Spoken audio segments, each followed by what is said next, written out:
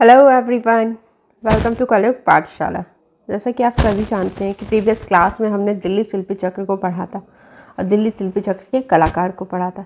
तो चलिए इसी श्रृंखला को आगे बढ़ाते हुए आज हम अन्य कलाकार को पढ़ेंगे। तो चलिए स्टार्ट करते हैं।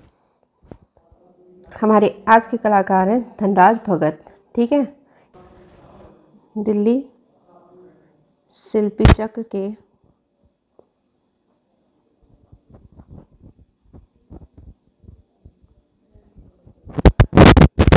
कलाकार हैं, ठीक है? किसके? ये दिल्ली शिल्पी चक्र के कलाकार हैं, ठीक है? इनका जन्म हुआ है 20 दिसंबर को। कब हुआ है? 20 दिसंबर को, सन 1917 में, ठीक है? कहाँ पर? लाहौर। लाहौर में, लाहौर का है आपका? पाकिस्तान में, ठीक है? इनका जन्म कब हुआ है? इनका जन्म हुआ 20 दिसंबर को, ठीक है? सन 1917 में, कहाँ में? लाहौर, पाकिस्तान में, ठीक है? चलिए, इनकी मृत्यु कब हुई है? तो इनकी मृत्यु हुई है उन्नीस सौ अट्ठासी ईस्वी में, कहाँ पर? भारत में हुई है, ठीक? इनका जन्म हुआ है पाकिस्तान में इनकी मृत्यु कहाँ हुई है? भारत में, ठीक है? तो इनकी मृत्यु कब हुई हुई है उन्नीस सौ अट्ठासी ईस्वी में, ठीक? कहाँ पर? भारत में, ठीक है? चलिए, इनकी शिक्षा कहाँ हुई है? इनकी शिक्षा हुई है मेयो स्कूल ऑफ़ आर्ट, ठीक है? मेयर स्कूल ऑफ़ आर्ट, ये आपका कहाँ है? लाहौर में है, ठीक है? सिल्प इसमें, यहाँ से इन्होंने शिल्प में डिप्लोमा किया है। क्या किया? शिल्प में डिप्लोमा किया है, ठीक?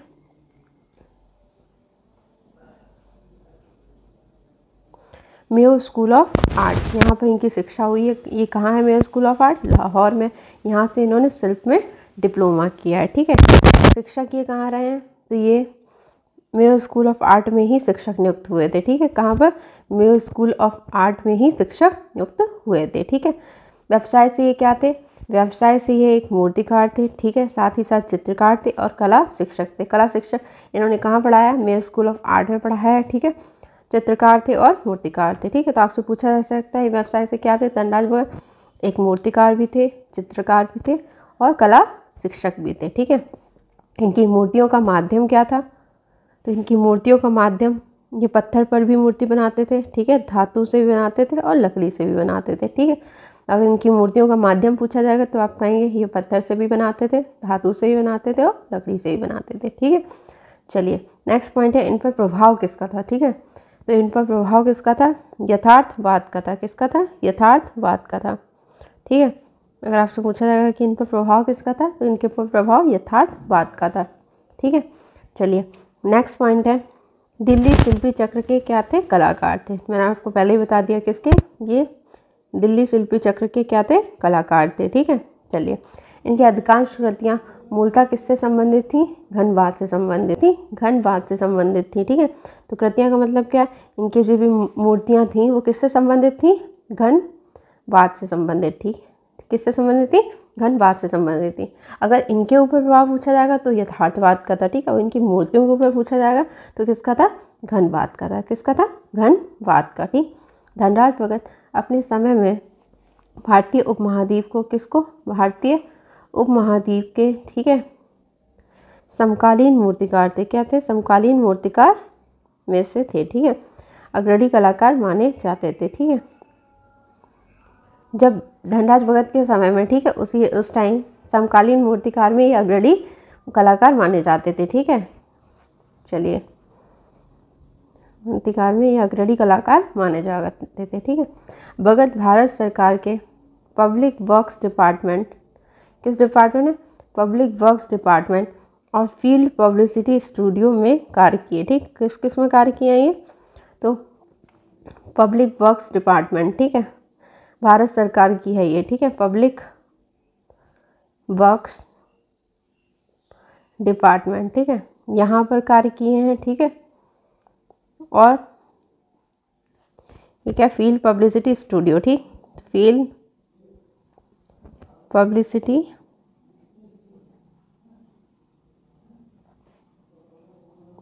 स्टूडियो में कार्य किए, ठीक? तो धनराज भगत ने कहाँ पर कार्य किया? भारत सरकार की, ठीक है? भारत सरकार के हैं डिपार्टमेंट ठीक पब्लिक वर्क्स डिपार्टमेंट और फ़ील्ड पब्लिसिटी स्टूडियो में कार्य किए, ठीक है? चलिए नेक्स्ट पॉइंट है। Dhanraj Bhagat, Delhi college of art Delhi college of art ठीक है? जो वर्तमान, उसका नाम क्या हो गया? वर्तमान कॉलेज ऑफ़ टेक्नोलॉजी हो गया। मैं सबसे पहले क्या हुए थे? मैं पहले शिक्षक, फिर सेवावृत्ति के समय मूर्तिकला विभाग के अध्यक्ष बना दिए गए थे। क्या बना दिए गए थे? मूर्तिकला विभाग के अध्यक्ष बना दिए गए थे, ठीक? चलिए इसको समझ लेते हैं। तो धनराज भगत पहले कहाँ पर?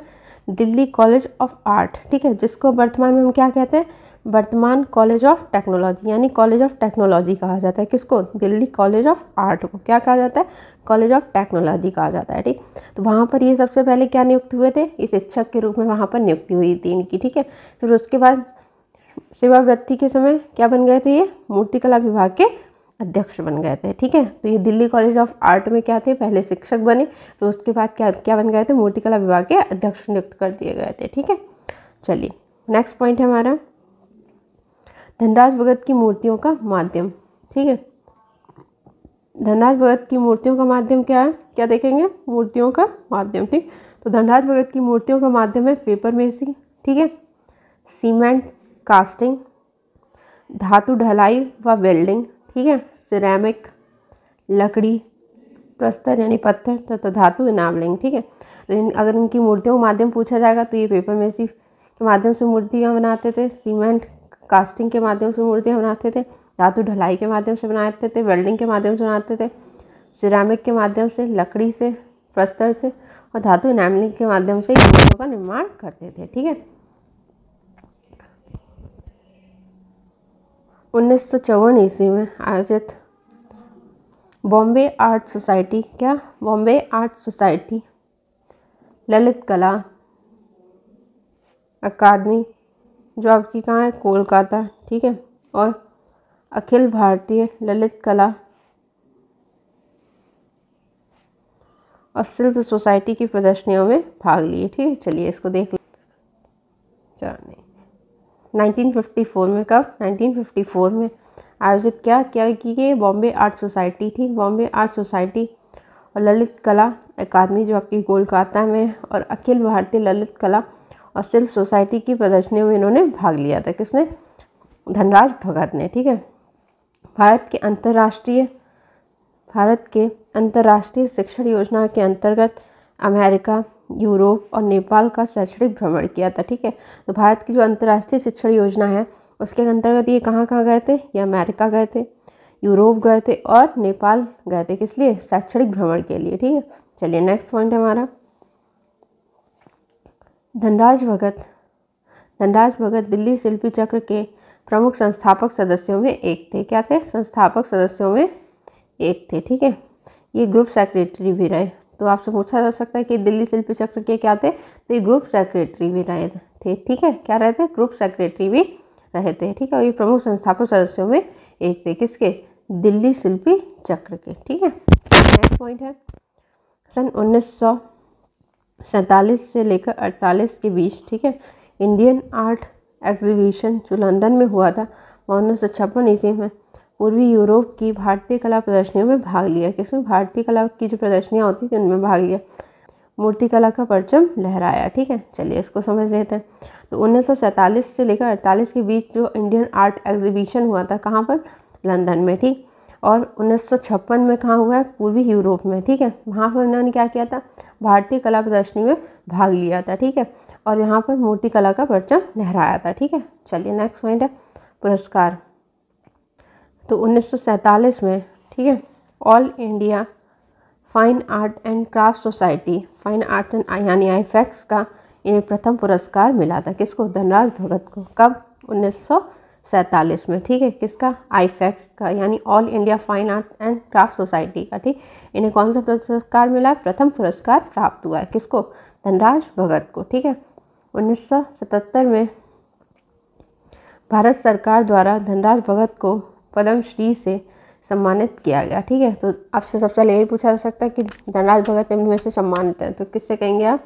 पद्म श्री से कहेंगे, ठीक है? कब सम्मानित किया गया? तो 1977 में किया गया, ठीक है? किससे? पद्मश्री से, ठीक है? चलिए नेक्स्ट पॉइंट है। धनराज भगत को एकेडमी ऑफ़ फाइन आर्ट क्या कहा जाता है? एकेडमी ऑफ़ धनराज भगत को academy of fine art Kolkata एवं पंजाब द्वारा फाइन आर्ट सोसाइटी का पुरस्कार प्राप्त हुआ, ठीक है? तो चलिए इसको समझ लेते हैं। एकेडमी ऑफ़ फाइन आर्ट, जो आपकी कहाँ है? कोलकाता में, ठीक है? और पंजाब फाइन आर्ट सोसाइटी, ठीक है? पंजाब की जो फाइन आर्ट सोसाइटी है, उसका पुरस्कार किसको प्राप्त हुआ है? धनराज भगत को प्राप्त हुआ है, ठीक है? चलिए नेक्स्ट पॉइंट है। National gallery of modern art national gallery of modern art ठीक है? द्वारा आयोजित अखिल भारतीय अखिल भारतीय मूर्तिकार प्रदर्शनी का पुरस्कार प्राप्त किया। किसने? धनराज भगत ने। कहाँ का? National gallery of modern art, ठीक है? इसका जो अखिल भारतीय मूर्तिकार प्रदर्शनी हुई थी, प्रदर्शनी का जो पुरस्कार था, वो किसको प्राप्त हुआ था? धनराज भगत को प्राप्त हुआ था, ठीक है? धनराज भगत को बियनाले ऑफ़ साउ पाओलो ठीक ठीक, का पुरस्कार प्राप्त हुआ, ठीक है? कहाँ का? बियनाले ऑफ़ साउ पालो का, ठीक है? का पुरस्कार प्राप्त हुआ। किसको? धनराज भगत को, ठीक है? नेक्स्ट है, धनराज भगत ने बाह्य आडंबर रहित, ठीक है, यथार्थवादी पद्धतियों पर मूर्तिकला की रचना की, ठीक है, जो सत्यम, शिवम, सुंदरम की आधार स्तंभ थी, ठीक है। तो धनराज भगत ने किससे? बाह्य आडंबर रहित, यानी बाह्य आडम यानी बाहरी दिखावे जो रहे थे यथार्थवादी पद्धतियों पर इन्होंने क्या की थी? मूर्ति की रचना की थी, जो किसका आधार स्तंभ थी? सत्यम, शिवम, सुंदरम की आधार स्तंभ थी, ठीक है, चलिए। अब इनके कुछ प्रमुख चित्र देख लेते हैं। कुछ इनके प्रमुख चित्र, ठीक है? तो चित्र कौन कौन सा? झोपड़ी, पुनर्मिलन और कृष्णा। कौन कौन से? झोपड़ी, पुनर्मिलन और कृष्णा। इन मोस्ट इंपॉर्टेंट मार्क कर देंगे, ठीक है? मोस्ट इंपॉर्टेंट ठीक है? झोपड़ी, पुनर्मिलन और कृष्णा, ठीक है? अब इनके मूर्ति शिल्प देख लेंगे कुछ, ठीक है? इनके मूर्ति शिल्पों में कौन कौन से हैं? घोड़े की नालबंदी, ठीक है? ये भी इंपॉर्टेंट है, ठीक है? ये किस माध्यम से बनाया गया? ये प्रस्तर के माध्यम से, यानी पत्थर के माध्यम से बनाया गया, ठीक है? नेक्स्ट है, शिवा डांसिंग ठीक है? ये किससे बनाया गया? प्लास्टर से बनाया गया, ठीक है? किससे बनाया गया? प्लास्टर से। कॉस्मिक मैन ये भी प्लास्टर से बनाया गया। सितार वादक, ठीक है? ये सीमेंट के माध्यम से बनाया गया। बांसुरी वादक। वेल्डेड कॉपर के माध्यम से बनाया गया। The the king wood and बॉसनेस के माध्यम से बनाया गया, सांड, ये भी लकड़ी के माध्यम से बनाया गया। दी किस यानी चुंबन, ठीक है किस माध्यम से? लकड़ी के माध्यम से बनाया गया, ठीक है। इंपॉर्टेंट फॉर डांसिंग इंपॉर्टेंट है, ठीक है। सितार वादक इंपॉर्टेंट है कॉस्मिक मैन भी इंपॉर्टेंट है, बांसुरी वादक भी है, ठीक है। सांड, ये सारे पूछे गए हैं, ठीक है। चलिए तो कौन कौन से होगा सिवा डांसिंग ठीक है। ये किस माध्यम से बनाया गया? प्लास्टर के माध्यम से, घोड़े की नालबंदी, ये भी ये प्रस्तर के माध्यम से बनाया गया है, ठीक। कॉस्मिक मैन ये प्लास्टर के माध्यम से बनाया गया है। सितार वादक सीमेंट के माध्यम से बनाया गया वांसी वादक वेल्डेड कॉपर के माध्यम से बनाया गया और दिकिंग वुड एंड वॉसनेस के माध्यम से बनाया गया सांड लकड़ी के माध्यम से बनाया गया और द किस चुंबन किस माध्यम से बनाया गया लकड़ी के माध्यम से बनाया गया ठीक है। तो ये कुछ इनके प्रमुख क्षेत्र और मूर्ति शिल्प हो गए, ठीक है। तो धनराज भगत के बारे में जो जो इम्पोर्टेंट था वो सब मैंने आपको बता दिया, ठीक है। आप इसको अच्छे से तैयार कर लीजिएगा। चलिए मिलते हैं नेक्स्ट वीडियो में एक नए टॉपिक के साथ। तब तक के लिए थैंक यू